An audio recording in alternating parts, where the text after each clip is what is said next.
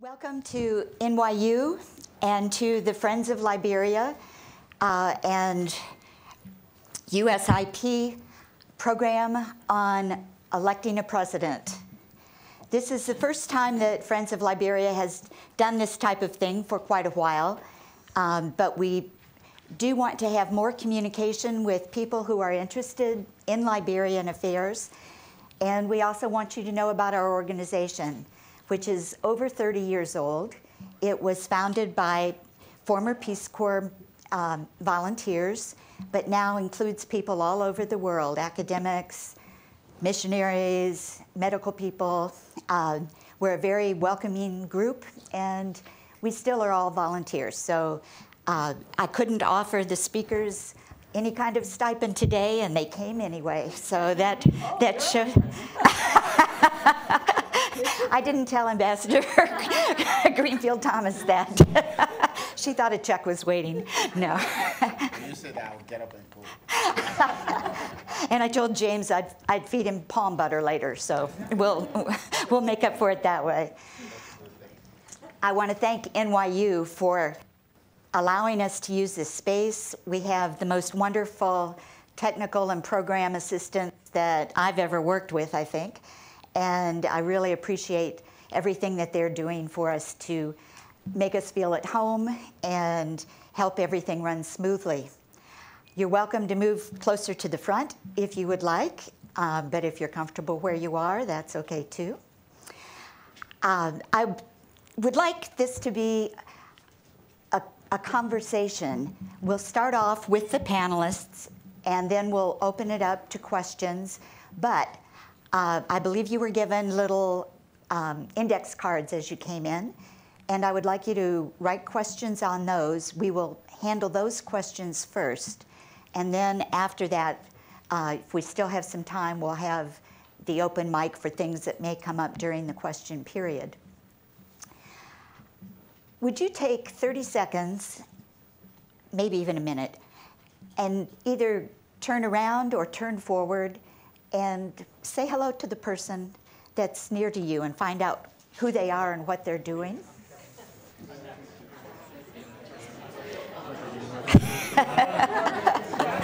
hello, hello.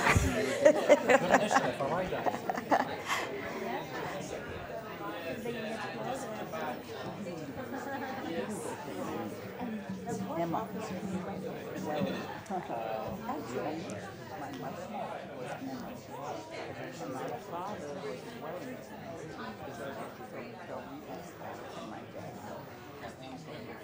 Thank you all. I appreciate I appreciate the time of your doing that.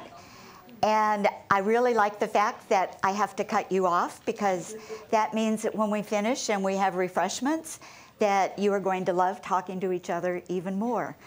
Um, you, one often doesn't find an audience that really enjoys talking about Liberia and whatever connection that you may have with it. Uh, I am not going to take up too much time right now because I think we have a, a good program, and I will take the liberty as the moderator.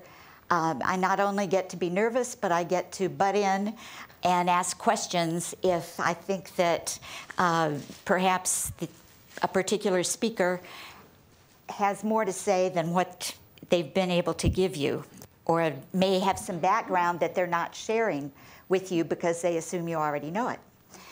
Um, I'll introduce each person as we go along and keep questions in mind, but um, I know we'll all focus on listening to what people say during the question and answer time, I may be taking some notes up here on the uh, flip chart because I've, in my career, I was with the State Department. I was also a Peace Corps volunteer. And I always used to hate to go to meetings that were just talking meetings. People can talk and talk and talk and talk, and nothing ever gets done.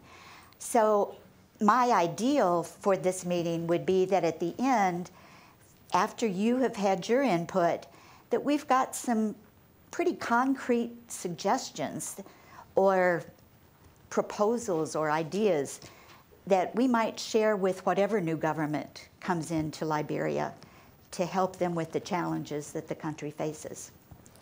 So, um, with further, no further ado, I would like to introduce James Butty. Uh, you may know James from the um, VOA programs. He's been with them for several years. He's now the manager of Daybreak Africa. He has, is a Liberian. Uh, we've known each other for decades, although we've been a, away from each other for a good decade or so. And um, James has been up to the minute with developments in Liberia. So I would like him to start off. Uh, James is an award winning journalist. Uh, I could go on for a long time about how good he is, but uh, please go to, to his bio uh, online if you'd like more information, and I won't take away from your presentation. Wherever you want. All right. I, Oh, this doesn't have a mic. okay, I can use the mic. Thank you. Good afternoon. Good afternoon. Thank you. Thank you very much. Um, I think uh, she lured me to come to this event because she promised me some Liberian food. That's the only way I can come to this program. I love Liberian food. Anyway, um, as she said, I'm, I'm, we try to be up to date. This morning on my program, Daybreak Africa, I had the Election Commission. Uh, you all know that uh, um, there been a challenge to the results of the October 10th election. So four parties challenged the results because they said there were some irregularities. So the, the um, court, the Supreme Court ordered the Election Commission to put a hold on the, on the runoff. And so last, the commission already heard all the complaints from these four parties. The ruling Unity Party took a petition to the court yesterday, and this morning the court, um, the, the, the petition was for to force the election commission to provide documents. Um, the background to that is that uh, the, the commission feels that if, if the, the ruling party and the other three parties claim that there were irregularities, they are supposed to provide evidence. So the way I know it is that I was told by the commission is that uh, they came to the commission, then started to request for information that they will use to provide evidence for their case. Meaning, and according to the election commission last night, when they were telling me, is that if they have to provide the information that these four parties are asking for, that means about 10,000 ballot boxes that they, the commission will have to turn over to them. So uh, you can see that is not feasible to do that. So the commission rejected that, that request. Uh, the board, a hearing board in the commission rejected the request, and uh, a board uh, also considered that and rejected it. So the ruling party went to the Supreme Court with that petition to force the commission to provide.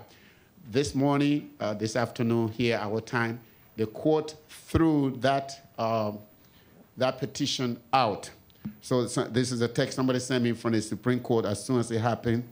Uh, the court concluded and denied the bill of information filed by the Unity Party and called on the National Elections Commission to dispose of the case before November 22nd. November 22nd is very important because the Liberty Party filed its complaint, I think it was on the 23rd of October. They filed their complaint. And under the Constitution, the commission has these 30 days to deal with all complaints following the election.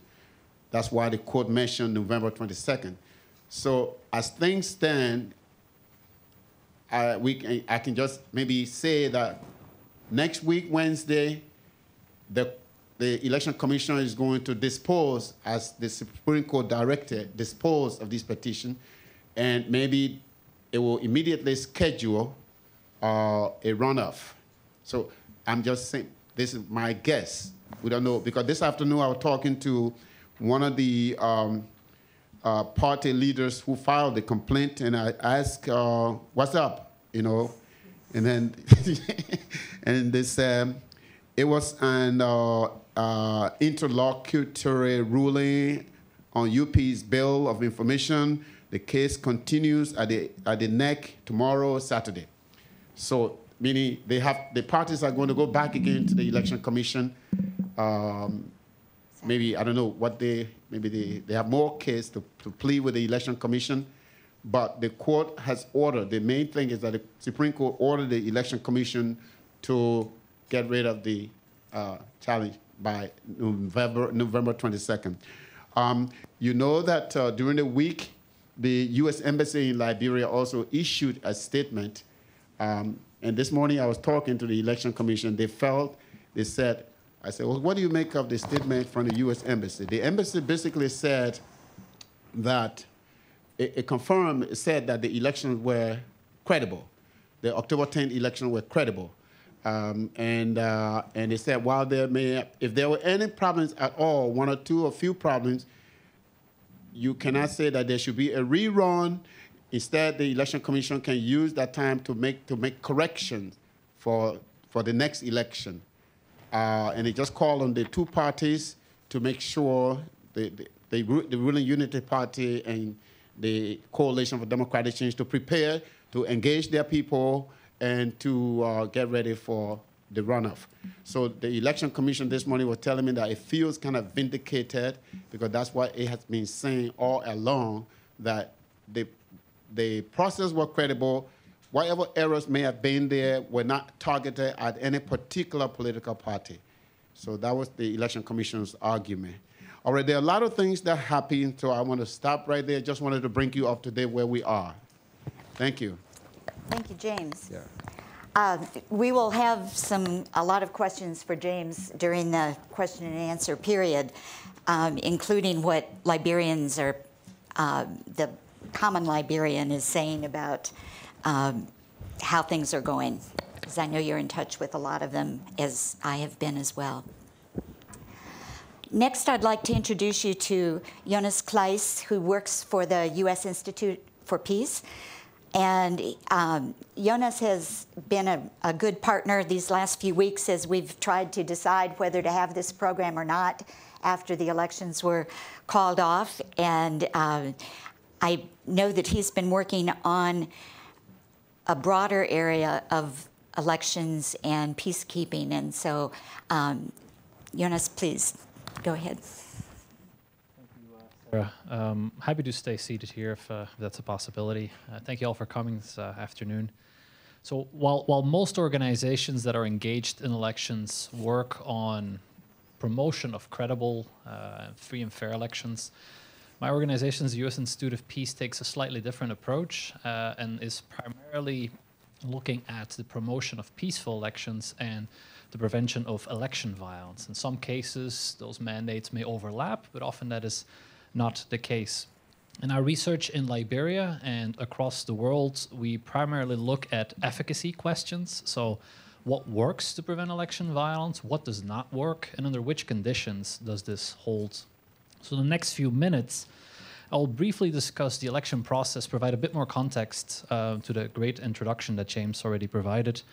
Um, and I will also offer some thoughts on, on what was done to prevent election violence and uh, what perhaps was missing. Uh, our findings on what really worked in the election process will evidently come in the next uh, couple of months, so stay tuned for that. Um, about a year ago, I, I, would say that there were several reasons to be concerned about these elections in Liberia, as there were some of the most reliable predictors for election violence that were present. Um, it was going to be a competitive race. Um, President Sirleaf was stepping down. There was no clear successor uh, standing up. That's often already an indicator that elections may get tense. Um, there was a recent uh, history of, of, of, mass violence uh, in Liberia. That's also an important predictor. So, in the literature, one would say that a history of election violence is the best predictor of future uh, election violence. There was some indications that there was going to be a, a lack of funds and infrastructure to guarantee credible elections and election security. Uh, the NEC faced some significant budget uh, shortages, and the Liberia National Police um, had been notorious for, for corruption and even uh, human rights abuses. And there is a large group of unemployed youth that is vulnerable to mobilization. So some of those risk factors do add up at putting Liberia at least at medium risk of, of election violence. Definitely not in the category of some other countries that we've seen, uh, your Kenyas, uh, certain countries in Southeast Asia, Bangladesh, for example, which have repeatedly high levels of election violence. Certainly not at that level, uh, but there were some, some reasons to be concerned. And for now, unfortunately, we must say that Liberia has been defeating uh, the odds as the elections have remained relatively calm and peaceful. Um, some violence did occur. Um, there was the harassment of, of women as long lines of voter queues uh, established themselves um, on election day. There's some minor incidents as well in terms of destruction of, of campaign materials, campaign posters uh, during the campaign period, and a few isolated cases of inter-party violence, uh, particularly in Nimba County. But overall, um, the violence has been minimal, that's for sure. Uh, as already was indicated, the voter turnout was about 72 uh, percent, similar to previous presidential elections in, uh, in Liberia. Uh, and the NEC was initially applauded for the transparent counting procedures, for the timely pronouncement of election results. Um, but however, there were some challenges that were indicated uh, with the voter roll, um, poor queue management, and the quality of poll workers. But overall, again, a very positive uh, performance that uh, was given to uh, attributed to the, to the NEC. Uh, Unity Party candidates Boakai and George Weah of the uh, Coalition for Democratic Change came out on top, respectively 28.8 and 38.4 percent of the vote. So it was looking as if we were heading for a runoff between these two candidates, but the Supreme Court uh, decided otherwise. Uh, as was already indicated, I won't go into depth because it's already covered. Uh, but Charles Brumskine of the Liberty Party, who ended third in the first round election, he filed a complaint with the Unity Party as a co-complainant. Um, and these there were claims that there were massive irregularities, as was already uh, indicated. Um, the Supreme Court then prohibited the NEC from organizing the runoff until a thorough investigation of the complaint was conducted. Now, I'll add a brief word as well on the legacy of, of President Sirleaf, which I think is important also to add a little bit of, of perspective, uh, as well as her role in the current elections. I think it's an important um, contribution to make in events in Washington, D.C., perhaps, and to draw people's attention to the contrast that there is between the international praise for, for President Sirleaf and her popularity at home. Surely, there's no doubt that Liberia has experienced a remarkable level of political stability in the past 14 years under the presidency of, of President Sirleaf. Uh, access to electricity, clean water has significantly improved. She's attracted new foreign investment. Uh, she was the fir first female head of uh, state in Africa. And uh, importantly, in these elections, she decided not to run again. Um, these may therefore be the first uh, democratic transition of power since 1944. But at home, there's still some disgruntlement, not just with uh, the person of, of President uh, Sirleaf, but also with her party. After all, Liberia remains one of the uh, least developed countries on earth. Um, people complain about unemployment and, and poor infrastructure. And many Liberians also do not forget about her initial promise to remain a one term president, and the fact that she ignored the advice of the Truth and Reconciliation uh, Committee. Um, so, why, in the end, wrapping up, um, will peace prevail or has peace prevailed so, thus far, despite those risk factors? I think there's uh, the war fatigue is, can certainly be uh, attributed in part to this, um, the lack of willingness to pick up arms for politicians. Uh, I think there is a growing uh, level of trust in Liberian institutions, uh, which is promising, which keeps people from perhaps settling disputes in the streets and uh, deciding them and, and, being willing to bring them up in, in court. Uh, and I think finally, what, what may also be a cause of, of the, the relative stability is the success uh, of violence prevention efforts. And there's several that I'll, I'll briefly point to the survey that we conducted, and we, we did um, survey-based research, um, we conducted over a thousand surveys and uh, nationwide interviews with the long-term observers. Um, it indicated that election monitoring, peace messaging, and civic education were the most widely used prevention instruments. Um, the LNP also reached out to vulnerable communities. They engaged youth, even the motorcycle unions. Um, but it does seem that the respondents in our survey they indicated that police were rarely present um, to prevent election violence or, or, the risk thereof in certain uh, instances, and that building a capable, and that's perhaps a suggestion that I would have for the next government, uh, building a capable and professional police force remains a priority to win back the trust of the Liberian uh, people in order to help ensure election security in the years to come. Um, in the question and answer uh, session, I'd also be happy to, to comment perhaps on the role of observation missions, which I think is particularly interesting in light of the criticism that international observers have received in the Kenya elections. I do think that there's quite a few parallels to be drawn between the recent Kenya elections and the Liberia elections, and I think leading politicians have also drawn some lessons from uh, the developments uh, in, in Kenya. Uh, and then finally, the role of diplomacy. Uh, only 17% of Liberians think that foreign diplomats were able to influence local leaders. Um, of course, these are perception based indications, but I, these are much lower numbers that you see in, in, other countries. And they really surprised me, given the very prominent presence of UNMIL in the past and the prominent presence of, of the US Embassy in country. Uh, the UN mission in Liberia was considered the most influential diplomatic presence, followed by the US Embassy in ECOWAS. Um, so I'll, I'll leave it at that, and uh, thank you all. Thank you, Eunice. Uh, that was a good overview of the elections. Some of you may not have been following it that closely, and so that gives a good background. And we'll go more into a practical uh, experience with Liberia in our next speakers. And uh, first, I'd like to call on uh, Ambassador Linda Thomas Greenfield, who's now retired from the State Department and a distinguished fellow at Georgetown University. Um, she is someone that, as a former State Department person myself, that we always really looked up to, and she held every high position in the State Department that it's possible for a professional to hold. And I won't say that that's not why she's not there now. but um, please go ahead. You may sit down. Um, I think I'd prefer to stand sure. just because I have, uh, I'm dealing with a foot that sure. is not feeling good sitting there. Okay. good afternoon. Uh, let me uh, start by thanking uh, Friends of Liberia.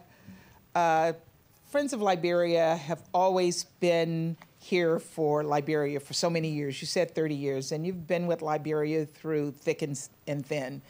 And uh, this effort is just one more signal uh, to uh, the world how important Liberia is to you and to all of us who care about Liberia. I'd also like to start by giving you a little bit of context. Uh, as you know, I was the ambassador in Liberia, but I have been engaged with Liberia uh, since my mid 20s. Uh, I went to Liberia as a graduate student to do research in the 1970s, and like many of the Peace Corps volunteers in this room, I fell in love with the country. And so uh, uh to return after 30 years as the ambassador uh, was a, a, an amazing experience for me. But I've been involved in Liberia for almost 40 years, and I witnessed Liberia going through its many evolutions. If I would just go back to when I was there in 78 and when I left in 1979, and we know what happened in 1980, and, uh, and uh, on and on.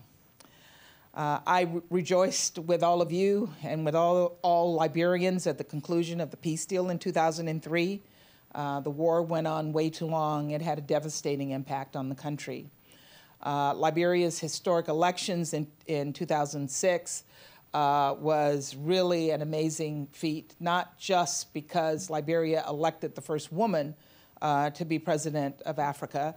That was a, a big deal, but it was because Liberians elected a president. They actually elected a president and one that was uh, in an election that was viewed uh, as free and fair um, and mostly peaceful. And more importantly, uh, the Liberian people voted. I was there. Uh, I watched uh, people as an observer uh, standing in line at 3 o'clock in the morning, waiting for the election. It rained that night, and they stood in the rain and they stood in the mud, and then the sun came out and they stood in the heat uh, so that they could vote. Uh, it was a sign that Liberia was on, on its way to, uh, to change. And they voted uh, and they staked a claim in a future peaceful Liberia. So now here we are 12 years later. Uh, we find ourselves once again in what I'd like to refer to as a crisis of conscience and a crisis of leadership in Liberia.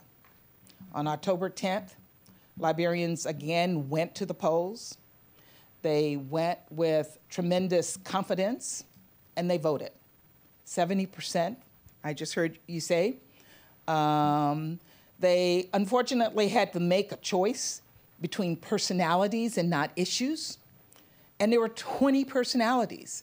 That still gives me palpitations that in a country the size of Liberia, people have to vote between 20 different personalities who are not talking about issues, uh, but are talking about uh, themselves.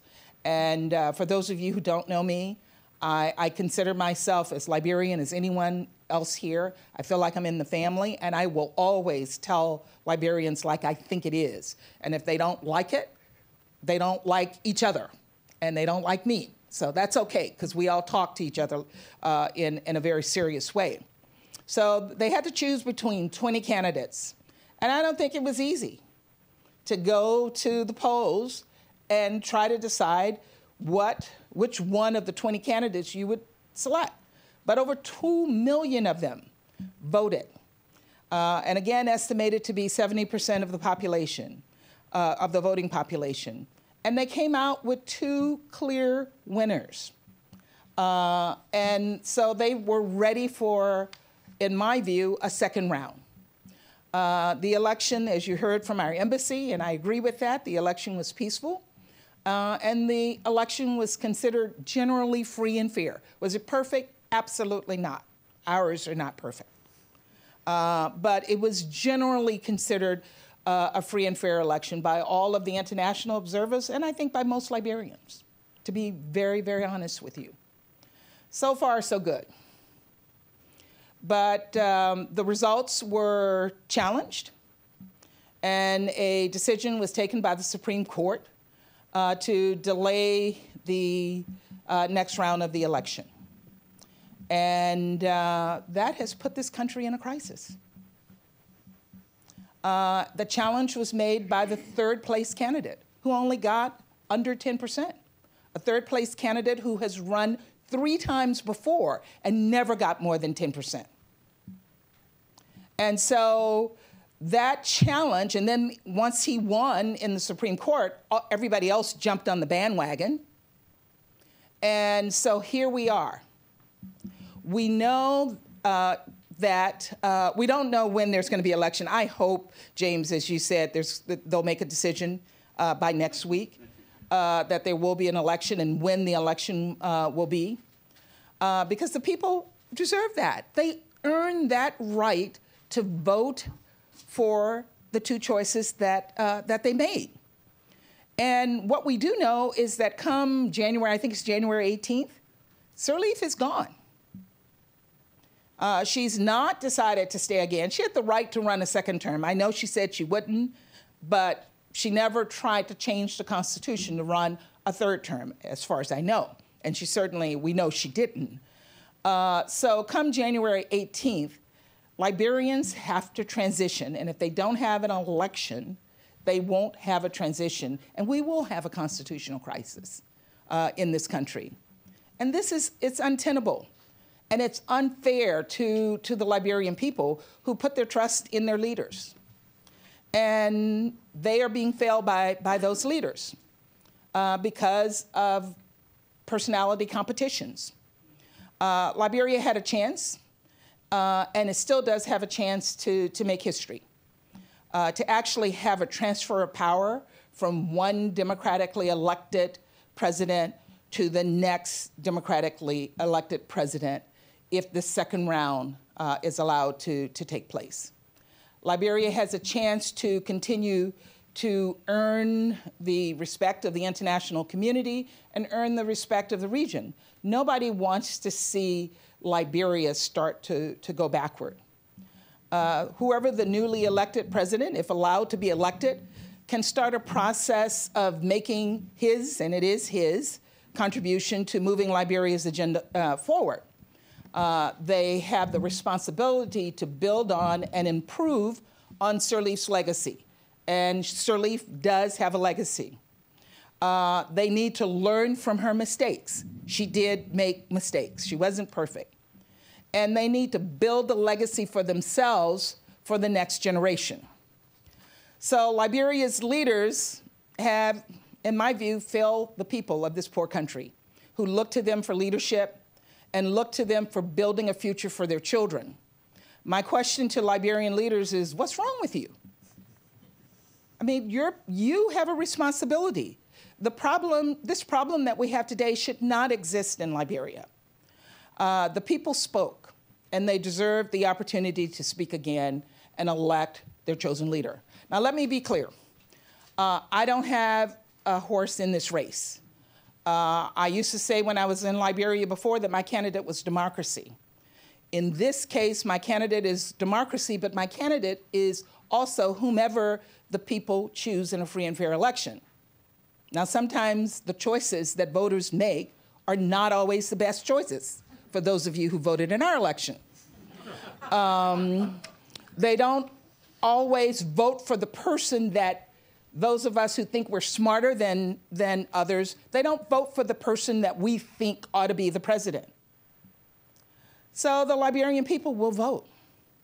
And whoever they elect, every single one of us, every Liberian in this room, every member of Friends of Liberia, every friend of Liberia, every bilateral uh, partner of Liberia has the responsibility to try to help that new president succeed, whoever, whichever uh, one is, is elected, because that person will be the choice of the Liberian people. Now, if you told me to select a president, I'd select one for you.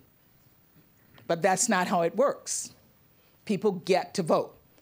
Uh, so, my hope is that all Liberians find a way to uh, get past this current crisis uh, and to continue on their very shaky, at very, very shaky and unstable path of democracy. They're on the path of democracy. Democracy is not a, a perfect uh, institution, but it is continually improving. It self improves over time. And sometimes there are setbacks, as we have seen even in our, in our own country. Uh, but Liberians can't go backward. Liberians don't have the, the time to go backward. Liberians have to go forward. Uh, when so many people around the world are rooting for this country, this country has to show that they are ready to continue on the path of democracy. I look forward to your questions.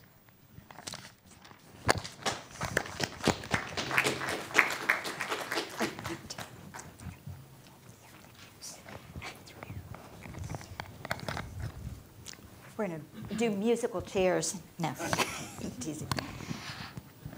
You can see why uh, Ambassador Thomas Greenfield uh, was our draw for today. She has the background and the eloquence to say so much uh, that's on all of our minds. And she speaks as a Liberian, as she said, uh, but she'll use the personal pronoun. She's not speaking anymore in her role in the U.S. State Department. She's speaking as part of the Liberian family. And I, I think that's what makes the difference between someone who uh, kind of preaches at others and someone who's part of a family and just wants to try to find the best for everyone. Let's move on to uh, Assistant Professor Welma Red. Uh, she is at Morgan Morgan State University. And she uh, has a background in Liberia. As a Liberian woman, she was outstanding as a journalist with the Liberian Broadcasting System. And she also uh, worked in the West African um, Union, right, Man- Mano River Union, that's right. And uh, is now doing a lot of, of projects with cinema and other things. And um, she'll speak to us about what she sees as some of the important things that need to be taken care of in Liberia from her perspective. and it's a perspective uh, of journalism in Liberia. As most of you know, um, it's very important that we have a strong press.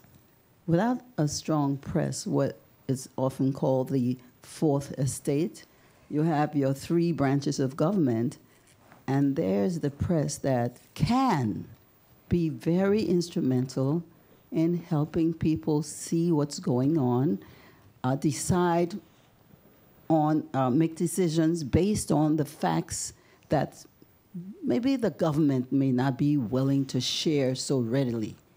So you have a press that is shining light on areas that may not be often available to people through the government. So it's important that the press is reliable, the press is giving valid information, the press can be trusted to provide the information to the public that will help the public form their opinions, vote, and you know decide who to put their votes behind and so forth and so on.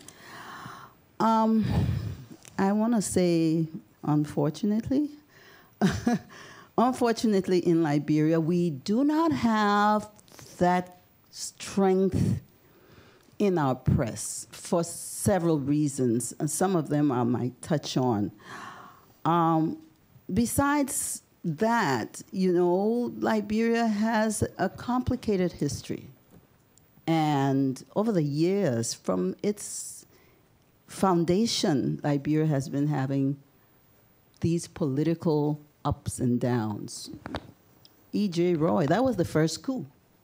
So from the very start, uh, people were trying to dislodge what was supposed to be the democratic way, what the Constitution requires.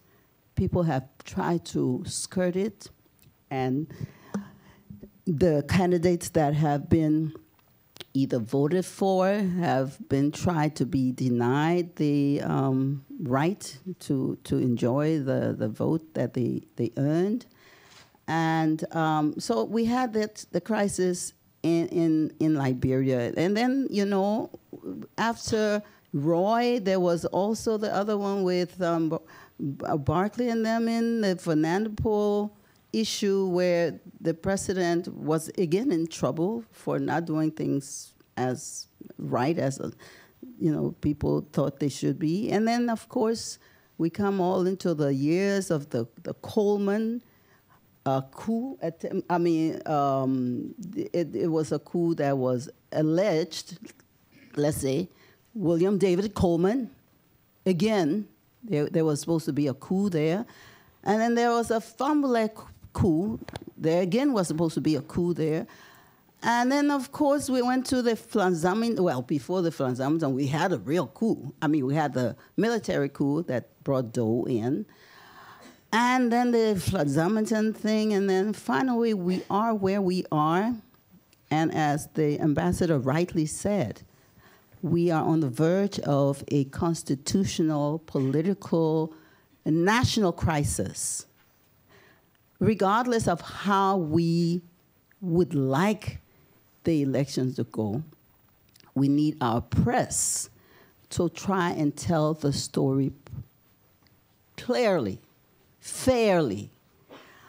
Uh, what I would like to do is to, to give some recommendations um, as to how perhaps going forward we could strengthen the press. I mean, a lot of work is being done in Liberia already.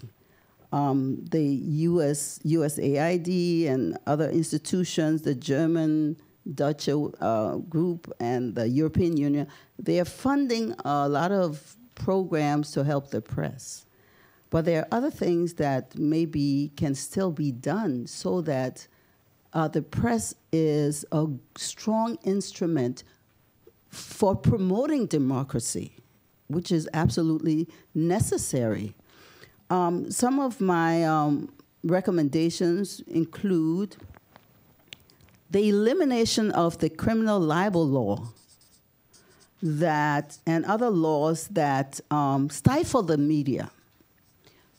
I mean, the press is not perfect in Liberia, especially since they not the entrepreneurial skills of our press may not be strong enough, and they don't have uh, uh, the, the, like the press here in many countries. They are financially uh, independent. Our press is not. Oftentimes, they depend on government um, contracts. They depend on United Nations contracts and so forth and so on. Other contracts to survive. It depend on government contracts. So we need to strengthen the press, um, not making libel law, especially where it pertains to public figures.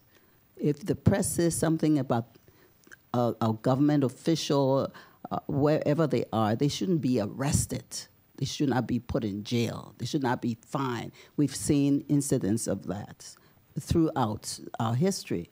Um, we need to also uh, uh, use tougher standards, you know, with these public figure libel cases. And there's a bill called the Table Mountain uh, pro, Table Mountain is where all the African countries went and met and say, we're going to uh, support a free press by uh, uh, uh, eliminating these laws. We also need to um, partner with government and safeguard national security against some of these incursions. We need to, for the, for the police and the army, they need to understand the role of the press and respect that.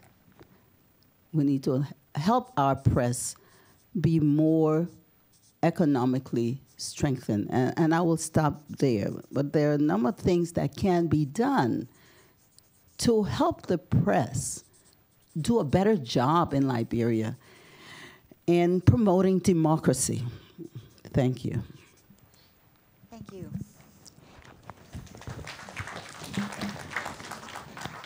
Thank you, Elma.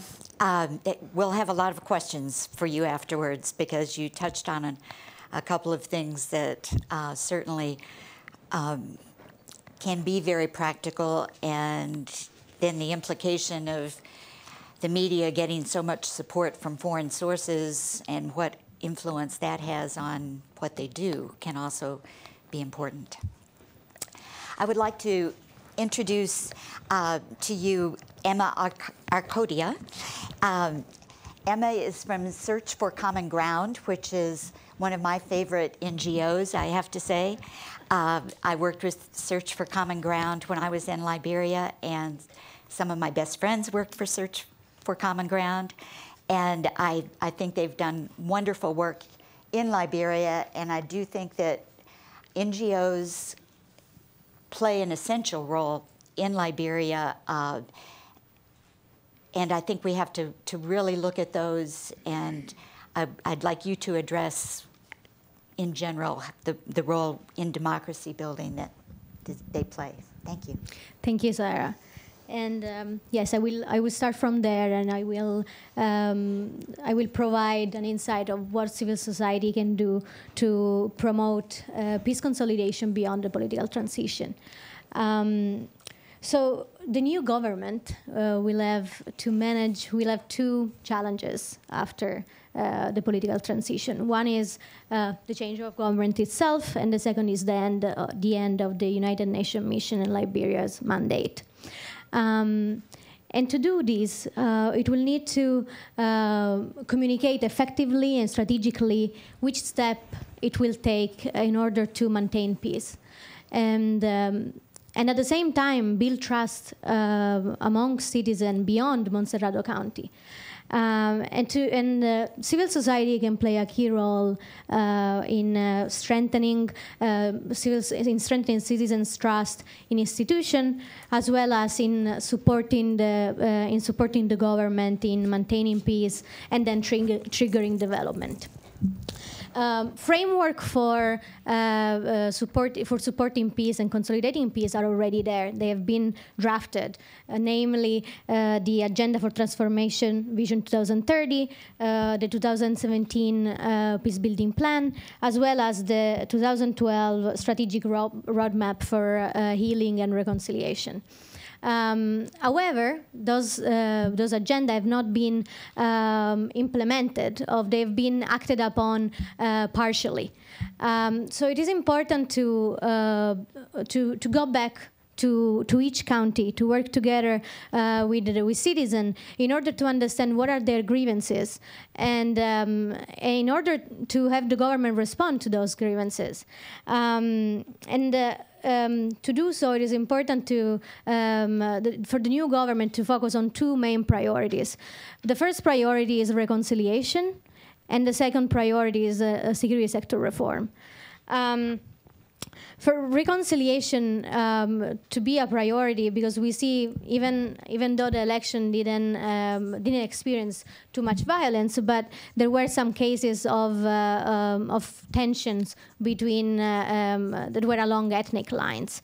Uh, for instance, in Sinoe County, county uh, between uh, Sapo and and Kru um, and Kru ethnic groups.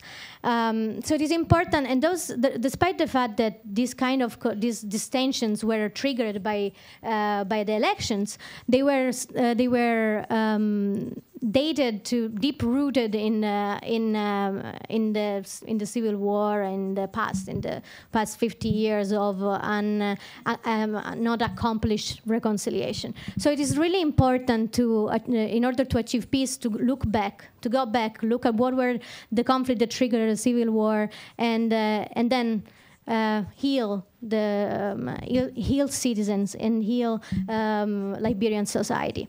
And second is um, the second priority, as I uh, mentioned earlier, is security sector reform.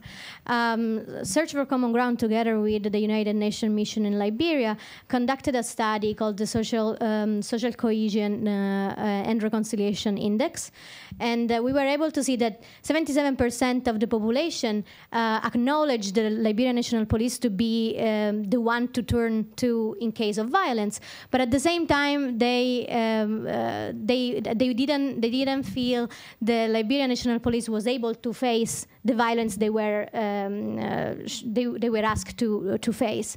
Uh, and therefore, it is important um, for for the new government to invest more in training, in skill building, as well as in uh, trust building between citizens and uh, and and police um, officers. And, uh, and we see civil society to, to play a key role in this uh, because as um, uh, as my colleagues may um, also uh, confirm, community-based um, initiative have been able to keep peace in in Liberia.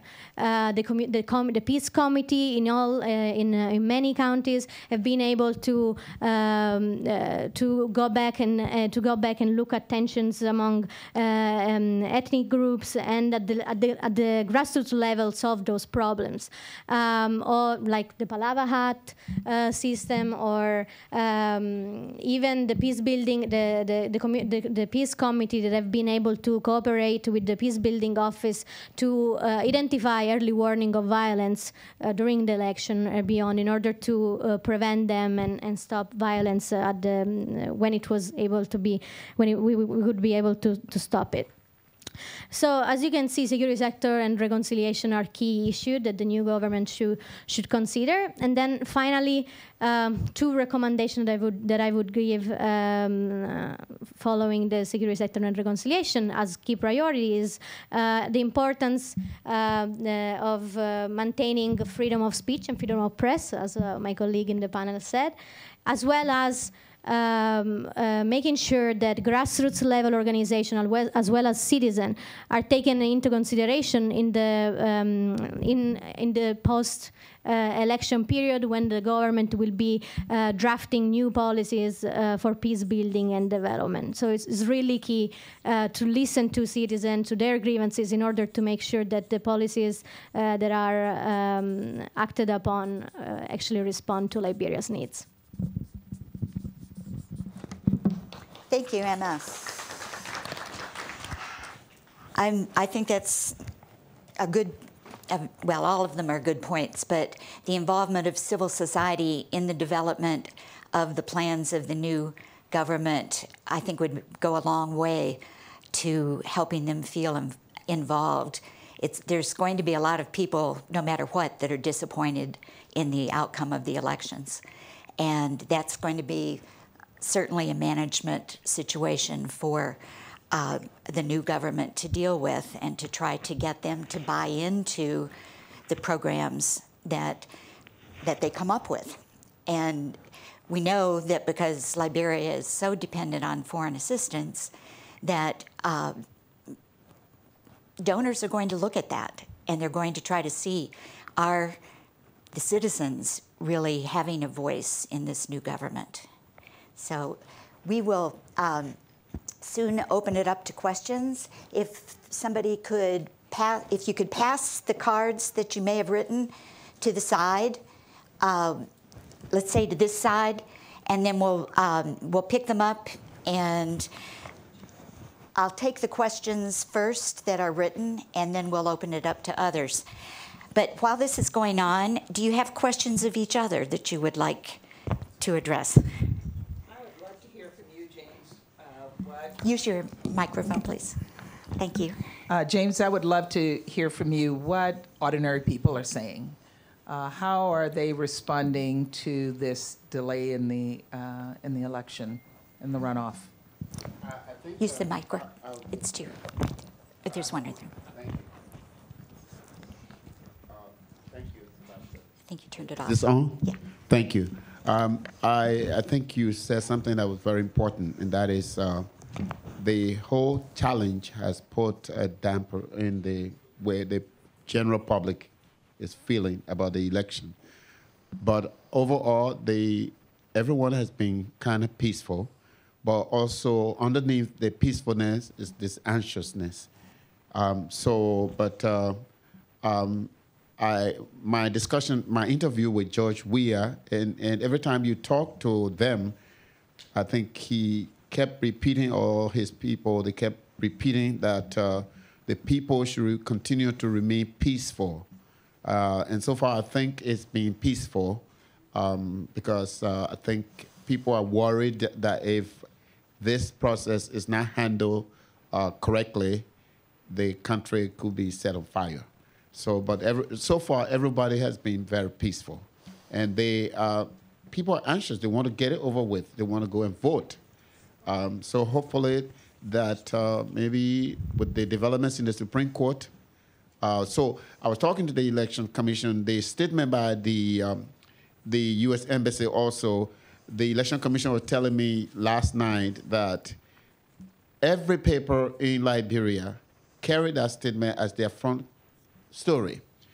That showed the kind of way that people want to move forward. They just want to move forward with the whole process. And at the same time, people, they appreciate the legal process taking its course. They appreciate the legal process taking its course, that people have the right to a challenge and then let it the challenge go through the legal process.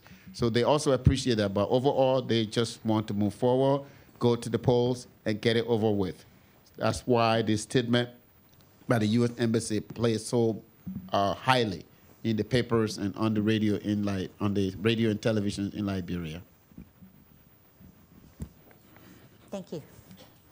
We'll go to these questions and then, but I would like you to feel free to ask each other questions as well.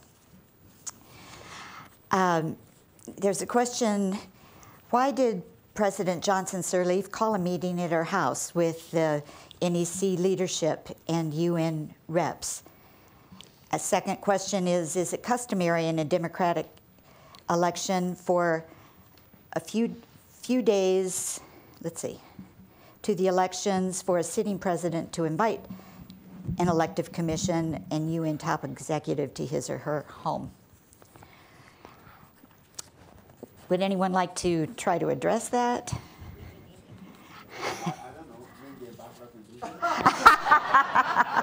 I don't think we can.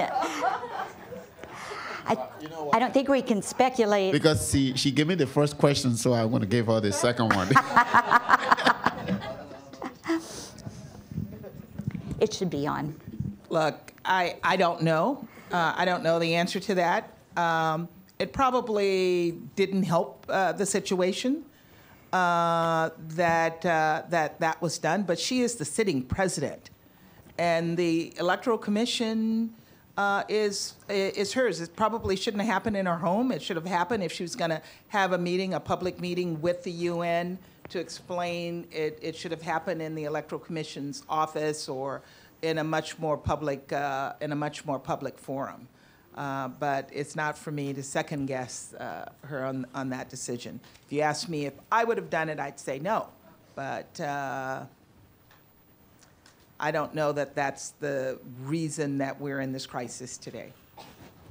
Thank you. A question Will America live up to its promises from this colonization society of 1816 to 1816? You know, I'll take that one, and I'll take it because I'll, I'll take it because uh, once I gave a speech in Liberia, and I said the only promise the American Colonization Society made to Liberia is they didn't want the people who were sent back to Liberia.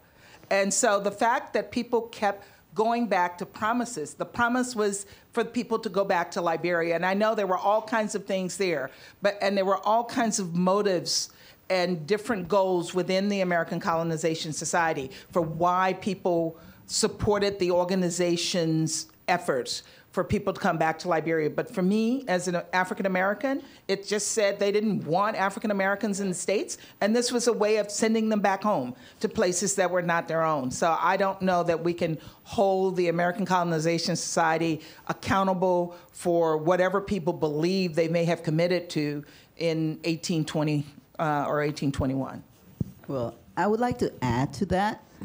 Um, the the ACS, when they made the decisions and put in their funds to to help people go back, there were lots of African Americans who paid their own money, bought their freedom, freedom of their entire families.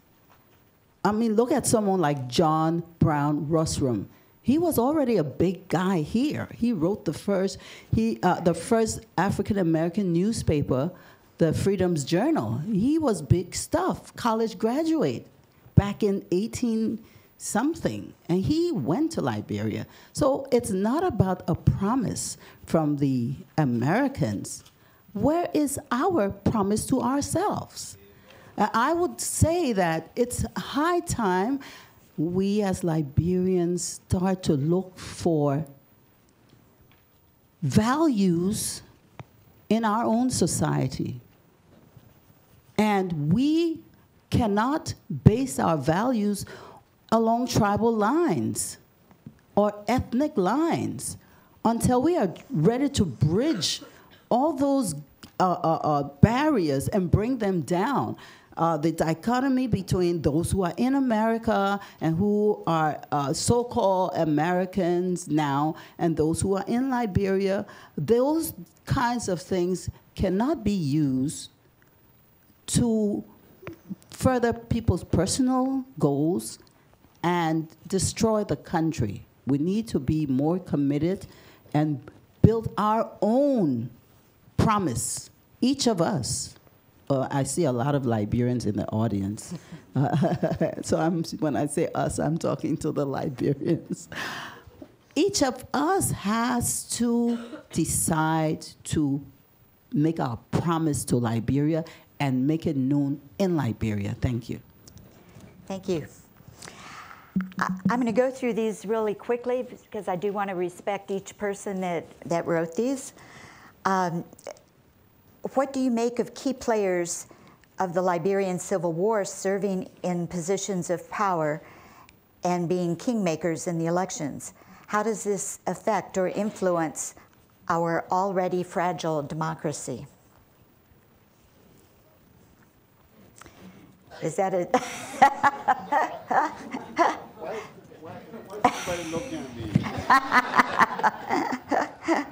oh, okay. Um, I know people say that, but we've gone 12 years with people who fought in the war serving in the government, 12 years.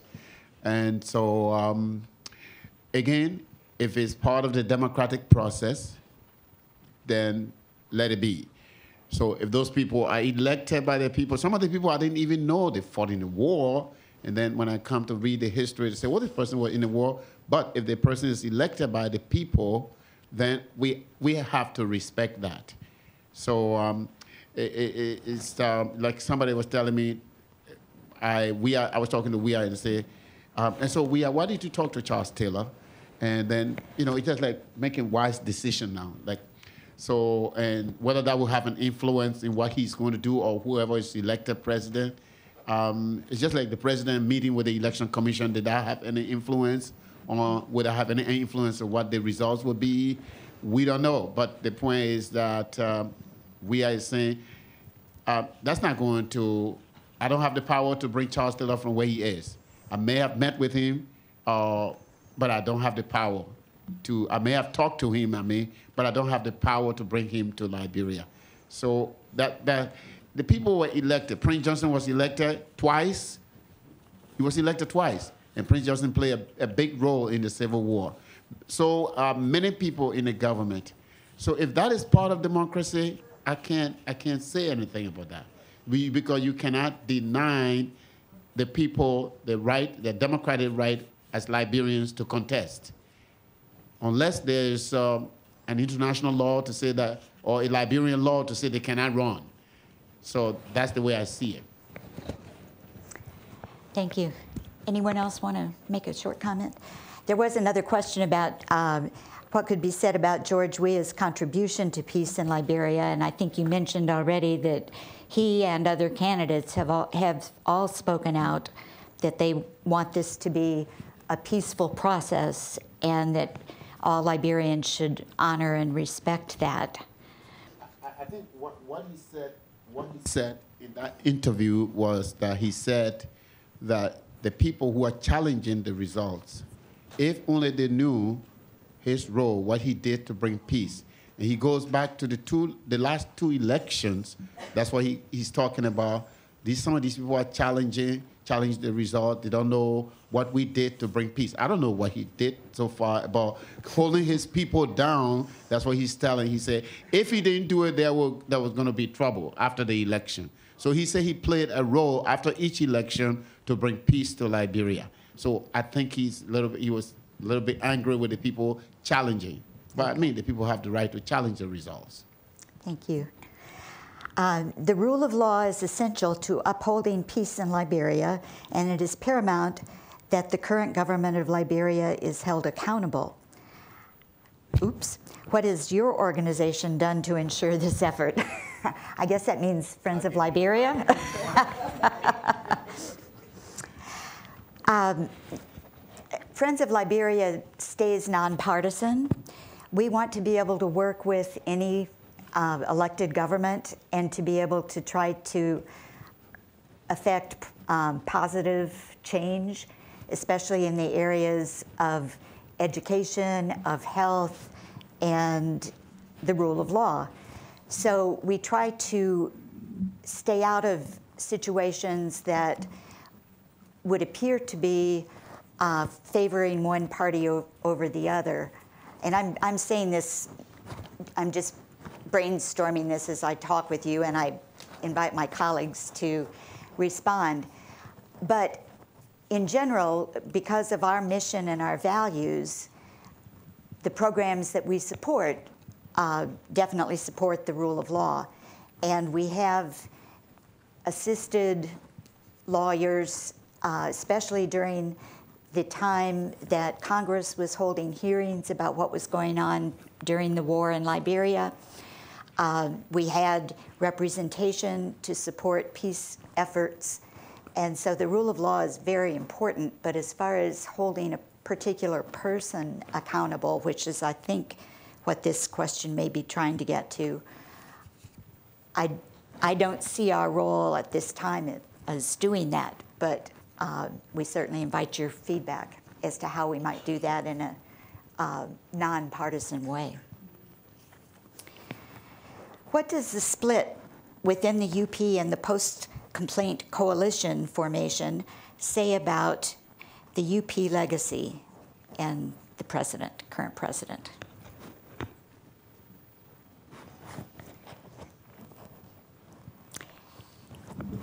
Yeah, I'll, I'll try to tackle that uh, question. I think it says a lot about um, uh, capacity and institution building. Uh, it says a lot about leadership, uh, that uh, the Unity Party was not able to live by its name, Unity, uh, and stay together to continue to contribute to, to Liberia's future. Uh, so it was uh, unfortunate, I think, that, uh, that the party was not able to, to work as, as one. And I think that's part of the reason we're um, in this crisis right now. That goes to another question. Uh, what can be done to change from personality politics to campaigning on the issues? I know that um, one of my old friends, Raymond Zarbi, was trying to host various debates with the candidates, and uh, some people participated and, and many did not. Uh, it, it seemed as if people didn't really want to talk about the issues. Part of it is having 20 candidates and their briefcase uh, politicians uh, who are carrying their campaign literature around uh, in their briefcases.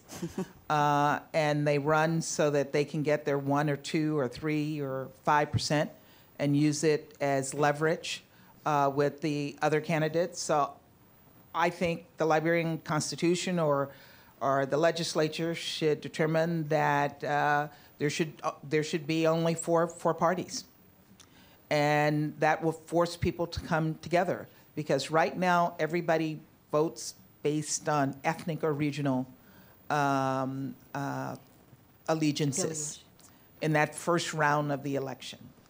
And so if you didn't have 20 candidates, you probably wouldn't need a second round because somebody would get the 50 plus 1% needed to, uh, to get elected. Uh, so again, if I, if I were uh, king or queen of Liberia, I would just say four candidates and figure a way to come together uh, to, uh, to get the Liberian people to vote for your platform and not for your person. Although I must say that uh, this particular election, the first round, a group um, uh, did, did a research and they, I mean, a survey, and they came down with uh, having some kind of a presidential debate, I think, for the first time. Presidential debate among the six candidates that they thought the people were, I mean, chose in that survey. And so, um, so they had a first debate, uh, although George Weah did not take part. And so um, you mentioned personality, and so and so it's the fact that the results came out and he was, you know, he took the lead. So was that was that based on his personality or was it based on the, the fact that he didn't show up to discuss the issue? But I said an attempt was made this time around by having that debate. Of, of course, the second time, the vice president, they, he boycotted also because I don't know why. But, um, you know, they, they made an attempt to make sure that the issues are discussed, except that they, they, some of the candidates chose, the main candidates chose not to take part. If I may briefly add to that, I think that this is not an issue that's a problem that's unique to Liberia, and you see increasingly that around the world there's been a, a shift from issue-based politics towards personality-based politics, even in very mature democracies. I think that if this is a primary concern then you're, you're well off as, as a country. Then, if I'm, I'm sure there's other fish that need to be fried first uh, before we can even reach that stage. But I think it's, it's an important issue because it, it, it heightens tension and it creates a, a fluid nature of politics where people will move parties, they'll leave parties, create new parties, and, and certainly that, that has something uh, to deal with it. And if I may briefly uh, go back to a point that was that was made earlier um, by, by Emma about the role of civil, civil society, I think that there are many ways through which civil society can engage uh, to promote democracy, to promote peaceful elections, um, there's there's youth programming. I think that there's a lot of good work being done in, in uh, Liberia by organizations like NAYMOTE, which really promotes the next generation of politicians, bring people together. There's a lot of work being done by civil society uh, in terms of civic education, educating people about what the role of democracy is and what the responsibility of citizens in a democracy is. Um, peace messaging is also an, a large component of, of what's being conducted by the media, uh, by others that, that, that call for restraint and encourage people to engage peacefully in these elections. But what I will say is, in order for these types of initiatives to be effective, they need to start early and they need to be sustained across election cycles. Because if you think about the logic behind these programs, they try to change attitudes and behavior of a broad segment of the electorate. You can simply cannot do that in two or three months. Unfortunately, you see that a lot of the election programming starts rather late because that's when the funds become available, and they end soon after the elections. It's important for this type of election programming to be sustained, and only that way you can really change attitudes and behavior in the long term. Thank you. And I would like to again add that um, uh, the, the, the problem is perhaps systemic and it runs throughout the society. So using the media, now when, when I say media, I don't just mean press, I mean drama groups, um, television, radio, everything. Using the media to get the citizens involved in a very sustained manner, not for elections only, right? We need to be involved in building a cohesive society over a long period of time, a society that's interested again in values that we all can share. We need to have a building of not only supporting press, but supporting the civil society. Uh, media has to be used as the voice of the people. And let's use the voice for everything good that we can bring to the society, not just for elections, but let's make the society better. Thank you. Thank you. Emma? To add quickly, yeah. I think there the key is access to information. And uh, when when citizens have the opportunity to listen to their candidates in the constituency at the national level and listen how also they talk among each other, that is is the key to change voting along ethnic lines and shifting towards uh, voting along shared interests. And it seems to work. We have done a, um, a randomized control trial of this uh, kind of debate in Sierra Leone, and it worked. We, we can say that uh, voting along uh, ethnic lines is not an immutable rule. It can be changed. So I'm sure that in the future we can see also in Liberia something like that know that um, Search for Common Ground has that as one of their objectives, and so I hope you can always be sustainable. Um, education is a theme that goes through everything that that you all are saying, and we know that that's a major uh, element of a successful society. So one of the questions is, uh, what is the direction of education in Liberia? Is the Bridge Academy uh, effect sustainable, or do, do you foresee something totally different happening? Does everyone know what that's about? Um, it's the use of a, a private company under contract to the government to uh, try to correct deficiencies in education using primarily the media, uh, digital media. I don't know because uh, the, that uh, I, I was talking the other day with the the minister of education. I don't know whether he's in or he's out. He's in and out. So he's almost going out or he's staying in. But so I, I guess what I was trying to get from him was the minister, uh, don't you think it's about time to give the Liberian people um, a comprehensive report in terms of how this program that you introduced, how it went the first year and how it's going.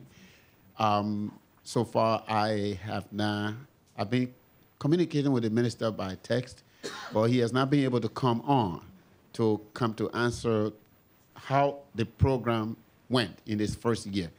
Uh, everybody know it was controversial when it was introduced. There's some people who felt that, uh, you know, the, the, the, there should be a role for the Liberian government when you want to talk when you talk about public education, and that they, some people felt that this system may deprive other students of the privilege to learn to get better education. So I really want maybe this is a reminder for me to keep pushing the minister, but these days now, so you don't know whether the minister is in or he's out. So when you try to talk to them, they can't answer you directly because they have to be careful what they are saying. But I will keep pushing him to see if we can get a, a, a report because I think he owes it to the Liberian people to tell them how that project went. And I suppose that a, a new president may or may not want to continue that. There's not a long term contract obligation with funding, right? As far as I know. Can I just comment on that a bit? And I don't know much uh, about this, but I know that the education system in Liberia as it exists has failed Liberians, and that it's necessary to think out of the box, uh, to look at different ways and try them. And if they work, fine. And if they don't work, let's try something else. Nobody is saying that Liberians should go back to using landlines because you never had landlines. Uh, everybody has moved a generation ahead uh, to using cell phones. Uh, the uh, regular classroom system has not educated Liberians. Liberians were all failing the uh, West Africa exams uh, across the board, except for a few schools in Liberia and a few students. So uh, while people have criticized this, they need to see whether it's had some impact and what impact it has had.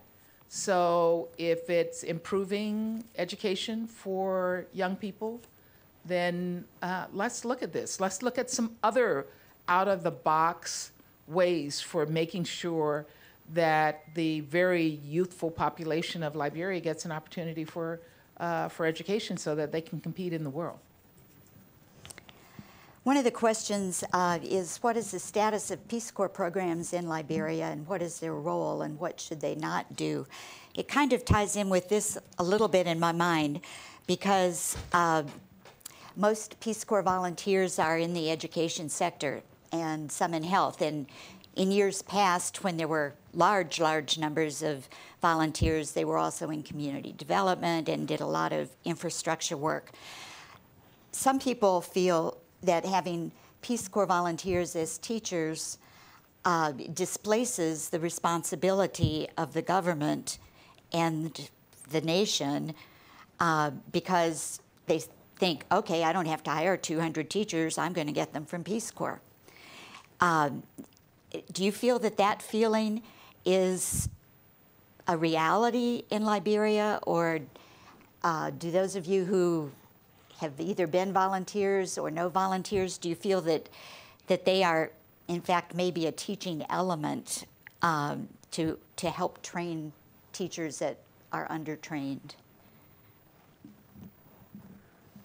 Over uh, nearly, gosh, uh, Since the 60s. since the 60s, uh, Peace Corps volunteers have been going to Liberia, and many of them have been teachers. And many prominent Liberians who are in positions of authority or just successful in whatever they're doing all have a Peace Corps teacher experience. So I don't think Peace Corps interferes with the government's ability to hire teachers. I think if governments can hire all the teachers they need, then Peace Corps volunteers would do something else. Uh, they can't hire all the qualified teachers that, uh, that they need uh, because all the qualified teachers are not there. And uh, P- Peace Corps contributes to educating uh, Liberians, and I think we should give all Peace Corps volunteers a hand of applause. Because those of us who went to, you know, when I was in school in Liberia, we had Peace Corps and we had Liberian teachers. So it did not, uh, yeah, so I think they, they, it should continue. Uh, if they can all learn from each other. So you need Liberian teachers, you need Peace Corps, that's okay. It's definitely a two-way street. I know I've learned more from the people I worked with in the health ministry than I gave back, but um, hopefully I still left something with them. Um, just for your information, the Friends of Liberia is trying a new approach in preschool education to try to help uh, young Liberians be ready to go to school um, because that has not existed for the, uh, may have existed for the elite Liberians, but not for your average Liberian that lives in Paynesville or New Kru Town or someplace like that. Um, we will be happy to talk to you about that program, what we're doing there during our refreshment period, uh, because we're real proud of the results that we've gotten in the first couple of years working with a nonprofit group in Liberia called We Care. Um, and it needs replication all over the country, which we can't do, but it's a, a great program so far with what they call evidence based proof. Means you do better at the last test than you did at the first test.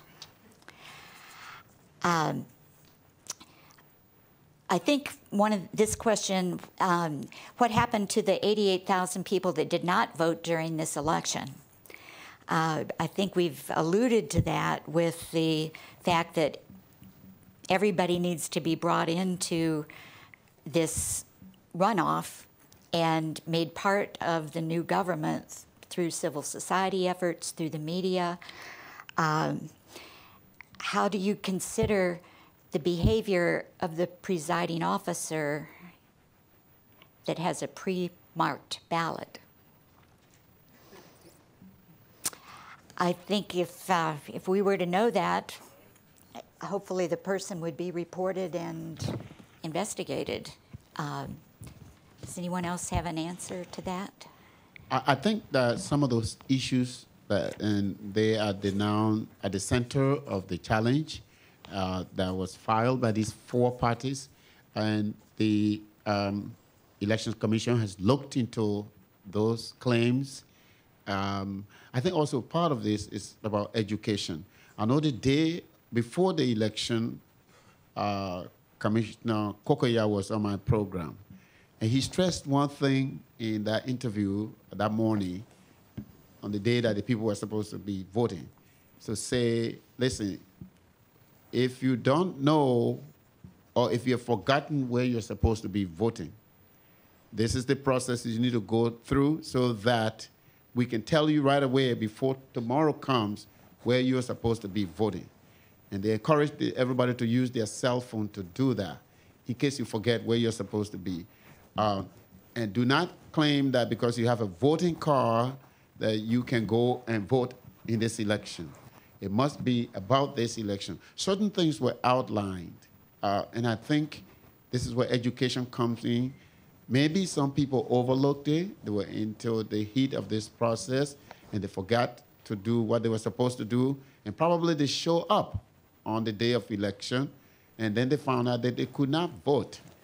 Maybe that's one problem for this, uh, these problems that we are having, one cause of the problem.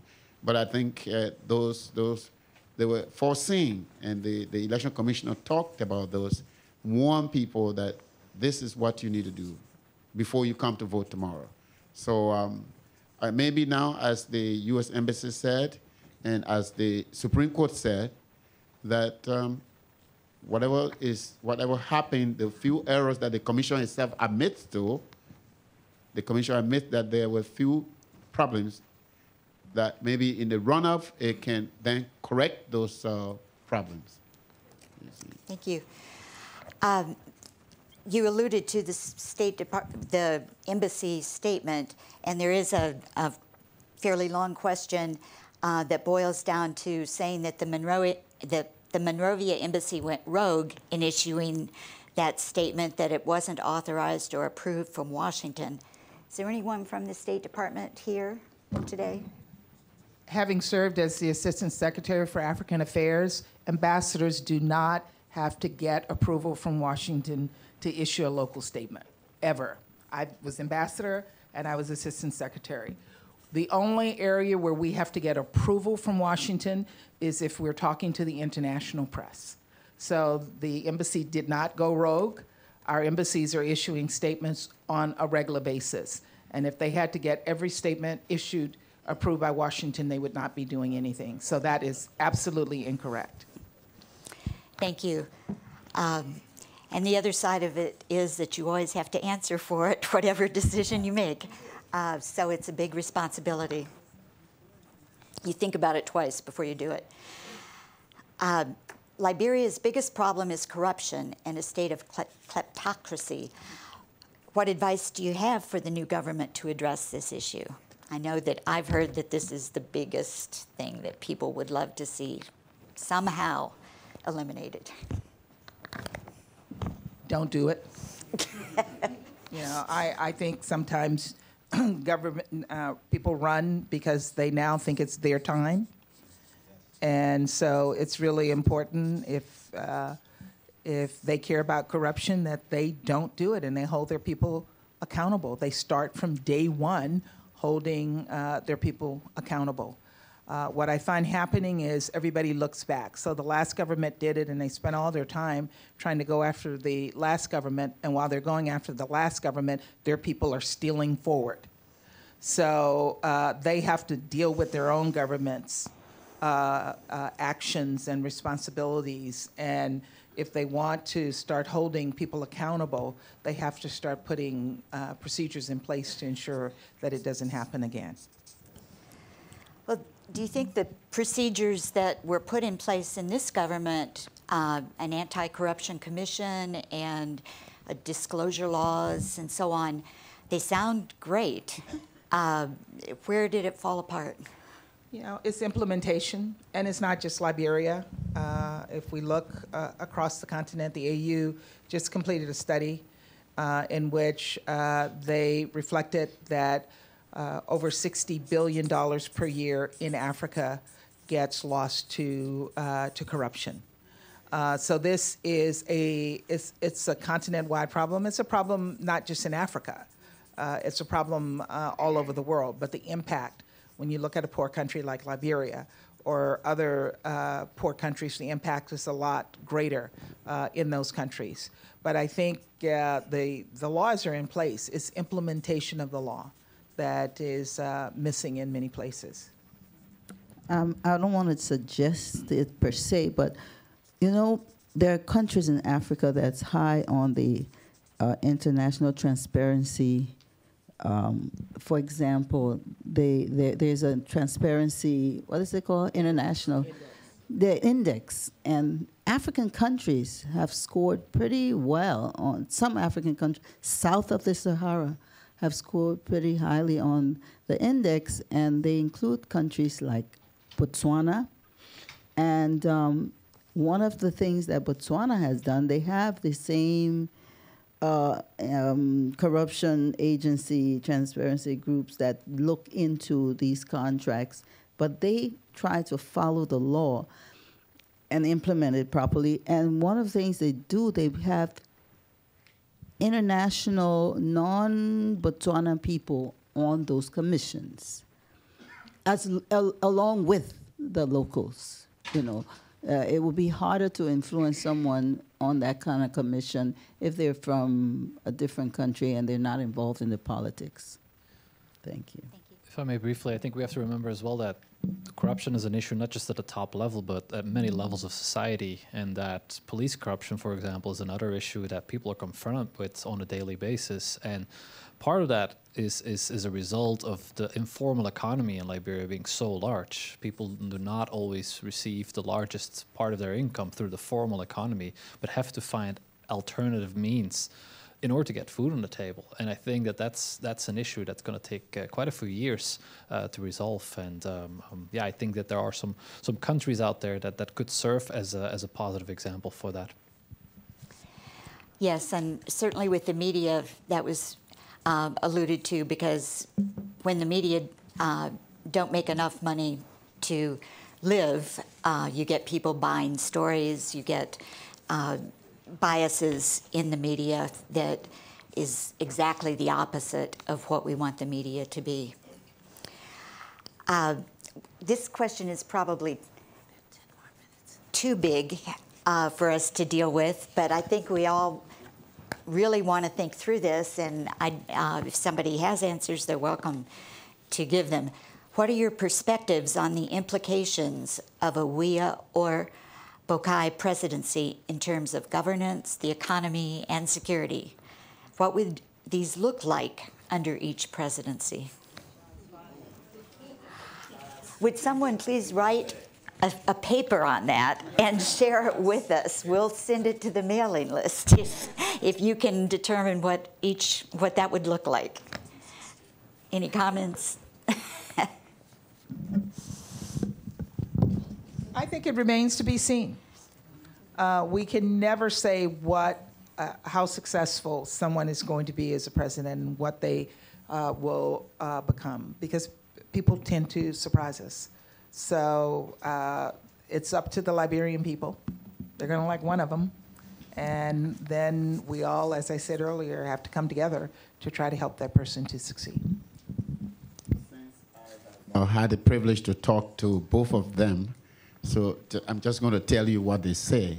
So um, uh, the vice president feels that uh, although he was vice president for 12 years, that uh, he has an opportunity to serve as president and that uh, he's a doer, that once he becomes president, he will be able to do implement his own programs.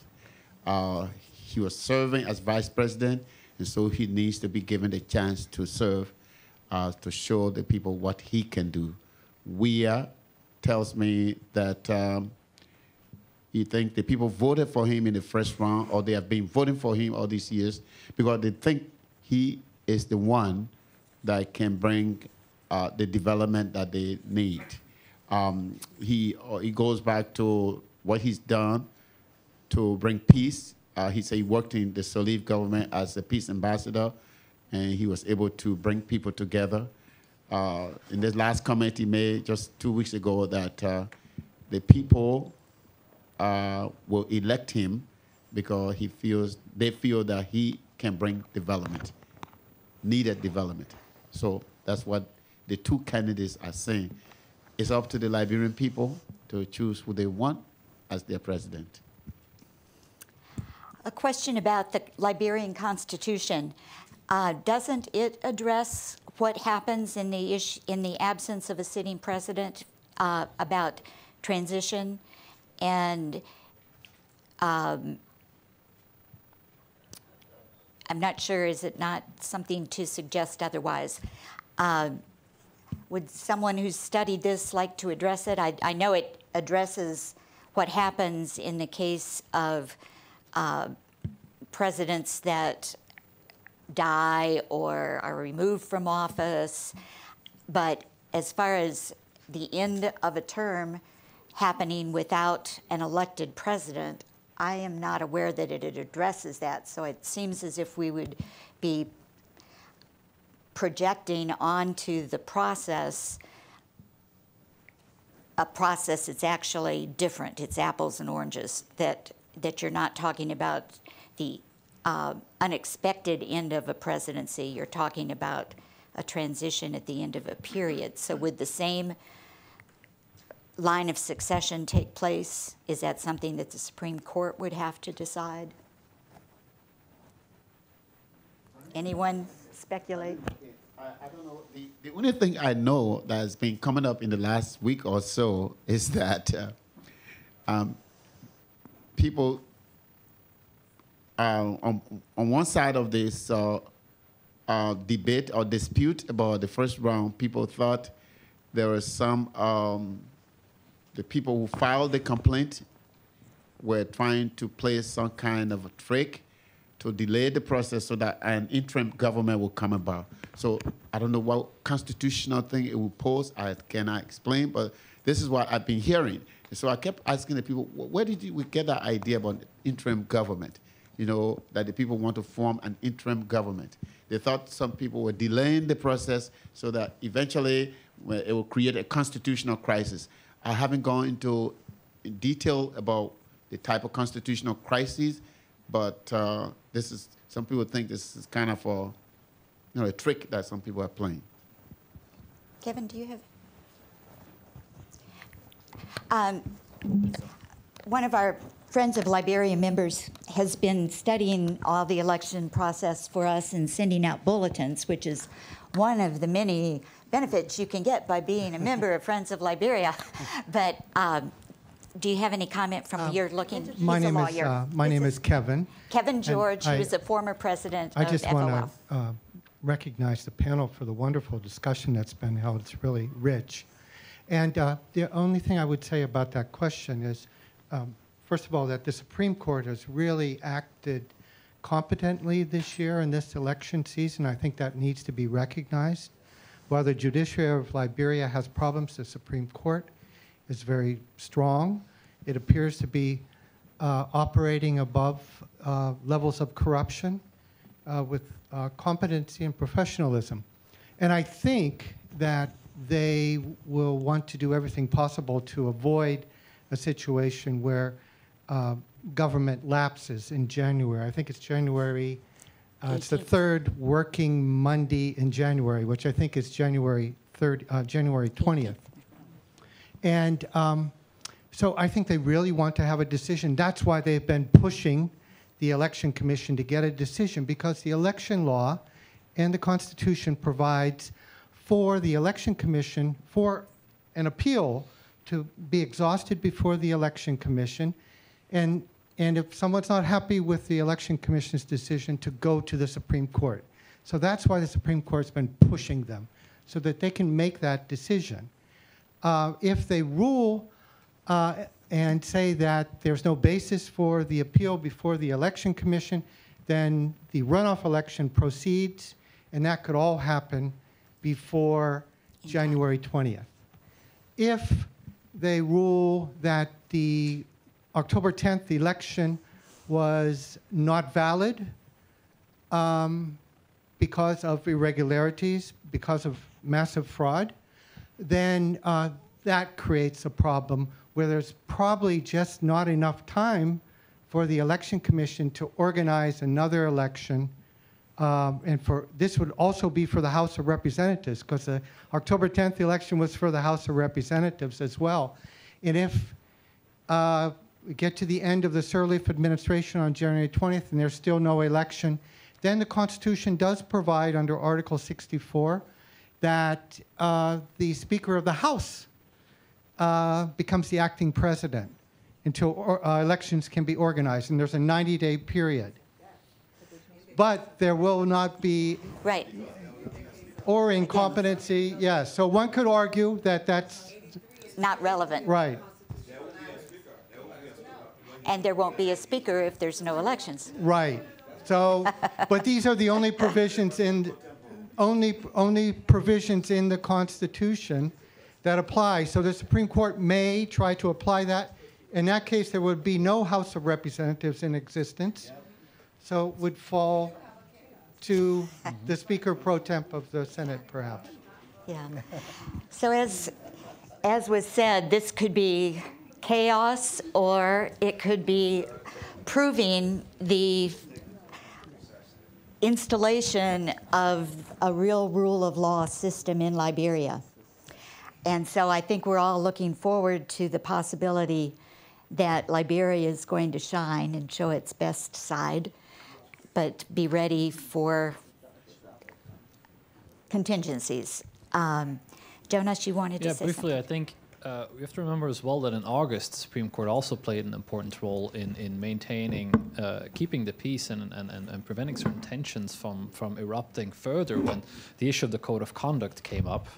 Uh, code of conduct stating that certain presidential candidates would have to resign from their position several years before um, um, um, the presidential elections would take place. And there it took a very pragmatic approach, I think both showing its teeth, but also showing some, some pragmatism in, in considering that the um, um, there was not an egregious uh, mistake being made in allowing certain candidates to run, which certainly helped the inclusiveness of the election process. And when it comes to mitigating tensions, then certainly the inclusiveness of a process is, is, is quite important. So I think uh, this is the second time that uh, Supreme Court has the opportunity to shine. Thank you.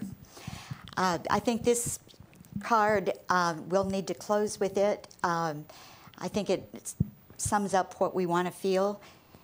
Is it too much to ask that our friends rejoice with us as we make a transition to a place where we as Liberians can disagree, not resort to violence, but have the rule of law take its course?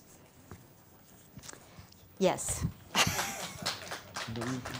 I think uh, that, that's a very that's a fair way to come up, because I got a call from someone the uh, other day. They want to come on the program to talk to Liberians about uh, peace and reconciliation, to talk about reconciliation. Um, and I thought, okay, I'll give you the platform. Although I think probably you should first try with the local media, but I say I can give him the platform to talk about reconciliation.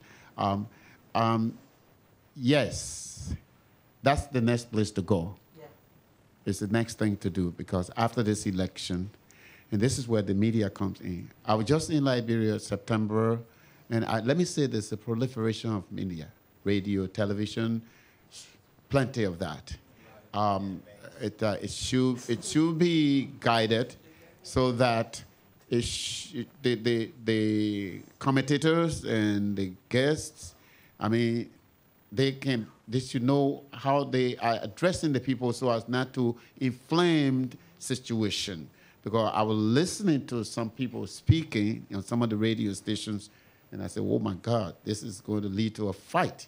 I mean, people were almost fighting, you know, um, and that has to be controlled, you know, managed so that people respect the other person uh, even though they come, they're coming from two different political parties or two different viewpoints, respect the viewpoint of the other person when, they, when you come on the radio to talk. Uh, some people were condescending, in particular some officials, so uh, they didn't respect the other person, th- their view.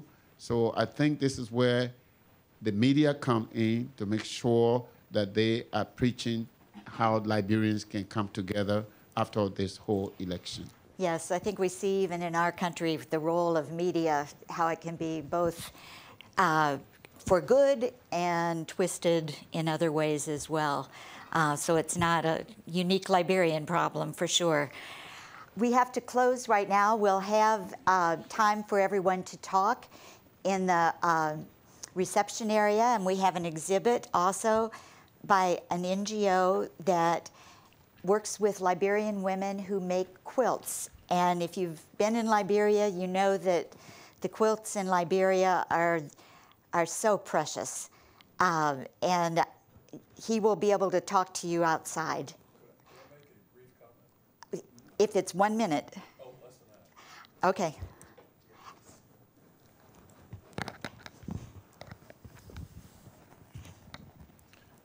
Uh, actually, it's it's two brief comments, less than one. But less still than less one than minute. one minute. Okay. And- and- please wait, wait, wait. Um, uh, very quickly, uh, my name is Joe James.